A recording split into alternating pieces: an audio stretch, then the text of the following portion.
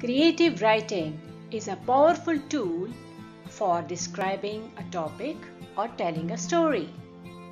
It is one of the most important skills we can ever learn. It takes you to the fantasy world and triggers your imagination. Children, sometimes when we are asked to write a few sentences on some topics, we find it difficult to write on our own. Now we will discuss some things to do for creative writing. Number one is start reading every day. Children, first and the foremost thing to do is to start reading everything and anything you get your hands on. Next is observe the little things. When you are going out with your parents, read road signs, read what is written on them. You can also read what is written on the wrappers of toffees, chocolates, chips, or any of your favorite food or snack. Observe the spellings and the words. Observe what is happening around you and make a note of it. The world around you is full of interesting things and events. Look what the people are doing. Observe their action and emotions, whether they are happy, sad, worried, or laughing. Pictures and illustrations go hand in hand. I know that children are fond of drawing and coloring, so put your words into your drawing and illustrations. Keep a separate notebook and write word of the day in it. You can write short sentences too. Make a word bank. These words will help you in your creative writing. Children, mind mapping is very helpful in creative writing. So, what is a mind mapping? Mind mapping is a visual thinking tool it is a graphical way to present ideas.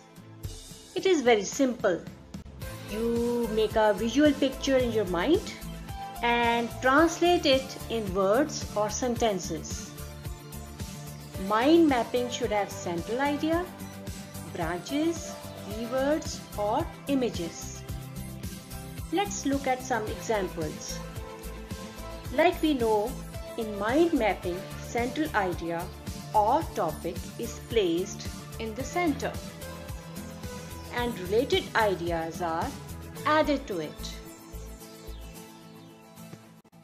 Now we will learn creative writing with mind mapping, filling one square at a time and including vocabulary words in it. Here is an example of a four squares. This is how a four square looks like. First square is usually the introduction of the topic that we are discussing. The second square has details about that particular topic and third square has more details on any adventure or any episode or any funny thing or sad thing that has happened. So you can write a couple of sentences in the third square. The fourth square is the feeling sentences where you are going to talk about your feeling related to the topic. The central idea or the topic for the creative writing is my friend. So in first square we will write introduction. So let's write my friend Rushil is a tall boy. In the next square we need little bit more detailing. So we can write he is a smart boy in third square, you can write fun part or the experiences you share with your friend. So you can write, we love to play together. Moving on the last and fourth square, it is a feeling sentence. You have to write a feeling sentence in the fourth square. So you can write, I like my friend because he helps me. Moving from simple to complex or easy to difficult, we will like to do a bit more challenging task and add more sentences. We can progress from 4 sentences to 8 sentences. We talk about the subject first. So here, if I am writing about a friend, I can add few more sentences. In the first square, for example, I can add about what does my friend look like, does he or she have short hair or long hair, how old is he or she. So I can add here he has short hair. Moving on to second square, I talk about my friend's nature, where does he or she live, I can talk about his family members. So here I can add he gets A plus grade in all subjects. Now moving on to third square, you can write any fun part you experienced together. You can add a sentence. Yesterday he came to my place.